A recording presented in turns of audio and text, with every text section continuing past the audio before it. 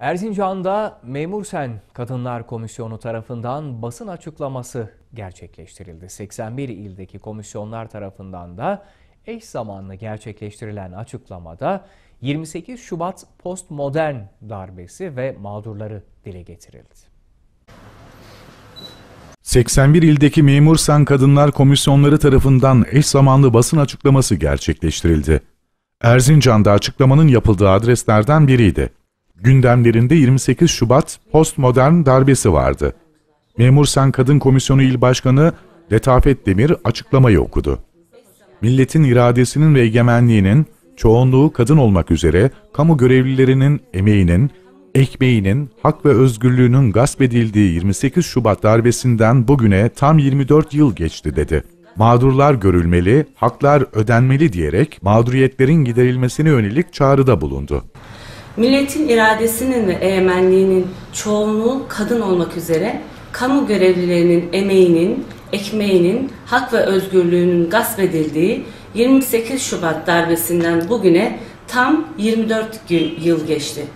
Postmodern olarak tesmiye 28 Şubat askeri müdahalesi o meşhum MGK toplantısının tarihiyle anılsa da 90'lı yılların başında başlamış bir vesayet sürecidir.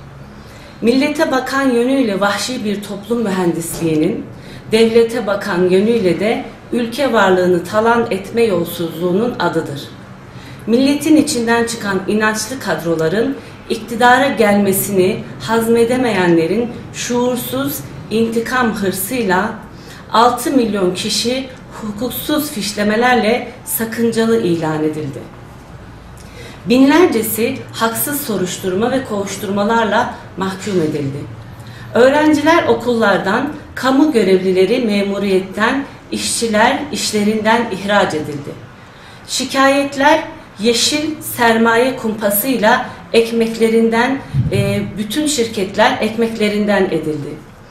Değerli dostlar, bin yıl sürecek iddiasına karşı millet yedi yılda darbecilerin hevesini kursaklarında koydu. Türkiye'de bir ilk olarak darbecilere ve vesayetçilere yargı eliyle yaptıklarının hesabı soruldu. Darbecilerden 21'i müebbet hapisle cezalandırıldı.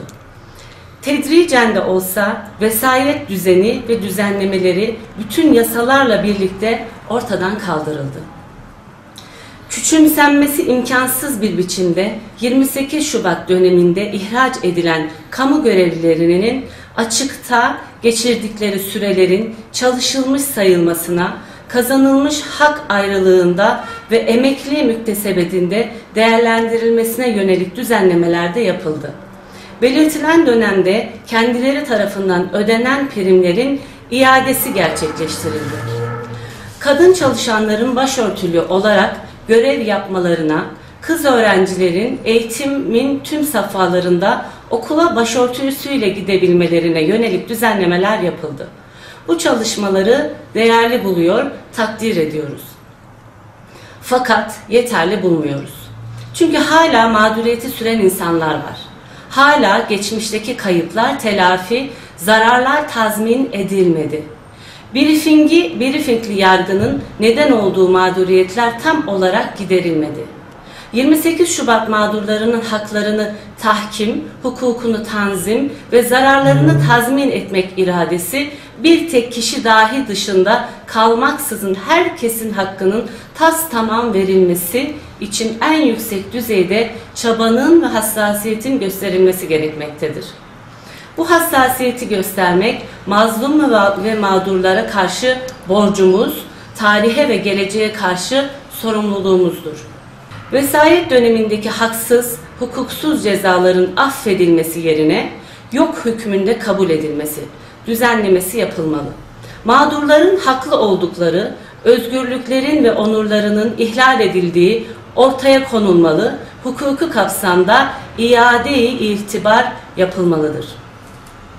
Haklarında verilen idari kararlar ve idari yargı kararlarına yönelik hukuki yollara başvuru başvuruları nedeniyle yapılan giderler ödenen ücretleri güncellemek suresi suretiyle ilgililere ödenmelidir.